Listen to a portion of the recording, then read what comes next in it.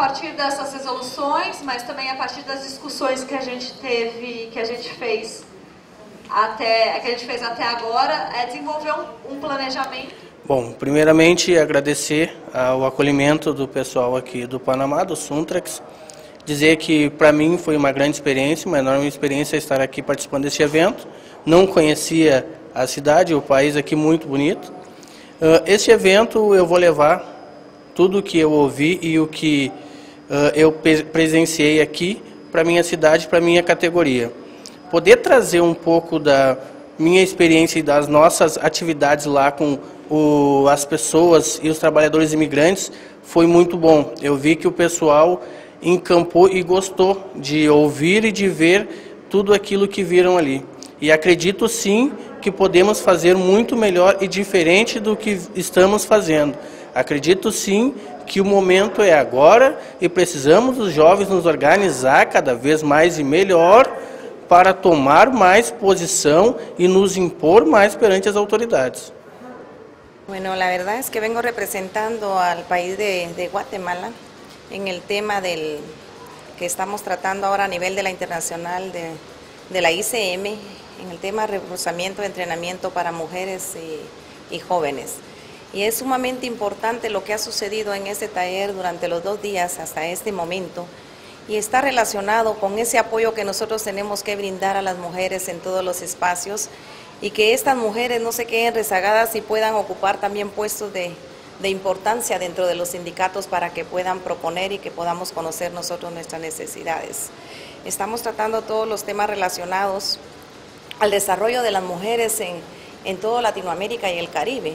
Y es política de la ICM fortalecer con un 30% de participación de las mujeres en estos niveles desde nuestras localidades o de nuestros países para que nosotros podamos tener toda la fuente de información relacionada a la búsqueda de, que se puedan proteger esos derechos de las mujeres, no solamente en el tema eh, meramente de, la ley, porque tenemos nosotros nuestros cuerpos legales en cada país, sino que queremos que esas leyes realmente sean re, reformadas o reforzadas con todas aquellas necesidades que tiene la mujer, porque hoy estamos demostrando que las mujeres podemos hacer cualquier trabajo, ¿verdad?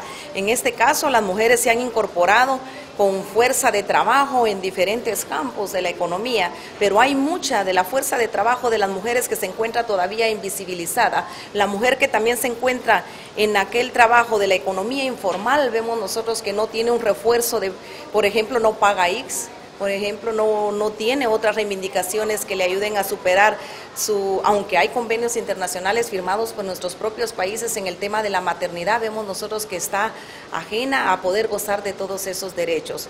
Es importante entonces no solamente reforzar el marco legal de nuestros estatutos a lo interno o la parte orgánica de los sindicatos, sino también el marco legal de los países. Entonces estoy sumamente complacida por este evento que se ha llevado a cabo representando dignamente a la mujer guatemalteca y por supuesto la bienvenida y la acogida que he tenido en este país y el alto nivel de los expositores que han, de las mujeres expositoras, conocedoras de todos los temas de las mujeres, no solamente en el tema legal, en el tema económico, en la globalización de estos problemas, el capitalismo, las economías de cada país, que esto tiene que ver mucho con el desarrollo y subdesarrollo de los pueblos a quienes nos, nosotros representamos. Bueno, primeramente muy contento y agradecido de estar acá porque estamos eh, muchos compañeros de, varios sindicatos, de varios países eh, relacionados en, el mismo sistema de, la clase obrera, de la clase trabajadora, para un fin común, ¿no? el fin común de la clase operaria aquí en Latinoamérica y, en toda la clase trabajadora. ¿no? Muy contento, estamos eh, compartiendo di diversas este, experiencias, estamos aprendiendo bastante, como muchos compañeros también están aprendiendo mucho de nosotros, tanto de los compañeros de Panamá, Chile, Colombia, Brasil y esperemos este, pronto que, que, esto se haga realidad también en nuestro, en nuestro país, no solamente en nuestros sindicatos, sino eh, todo lo que podemos aglomerar dentro de la clase trabajadora de cada país. Muy contentos porque la ICM comparte algo que tal vez pocas organizaciones eh, no lo comparten o no aglomeran, ¿no? que es el tema de, de que las mujeres también este, empiecen a ser líderes en diferentes tipos de organizaciones, tanto sindicales como tal vez en, el, en el, tema estudiantil, en todos esos temas. Y la otra parte de la ICM que también es eh, que aglomera la parte que muchas personas o los, o los viejos eh, dirigentes sindicales dejan de lado, ¿no? Se, atornillan en, un, en, una silla del cargo y dejan a los jóvenes rezagados, ahí como que siempre estamos ahí en la base. Entonces creo que la ICM parte bien haciendo el tipo de, aglomeración de, las mujeres y también de los jóvenes para tener más participación y dejar y, dejar y hacer un mejor, un mejor mundo con nosotros los jóvenes, ¿no? porque seguramente nosotros ahora que somos jóvenes, mañana seremos padres de familia y tenemos que enfocarnos y pensar qué futuro le vamos a dejar a nuestra familia, que eso es lo más importante, qué futuro le vamos a dejar a nuestros hijos. Entonces, a toda nuestra descendencia, ¿en qué mundo lo vamos a dejar viviendo? ¿En qué mundo le vamos a dejar? ¿Qué leyes le vamos a dejar? Entonces nosotros eh, verdaderamente muy, muy agradecidos con todo esto, compañeros, ¿no? y esperemos volvernos a encontrar muy pronto. ¿no?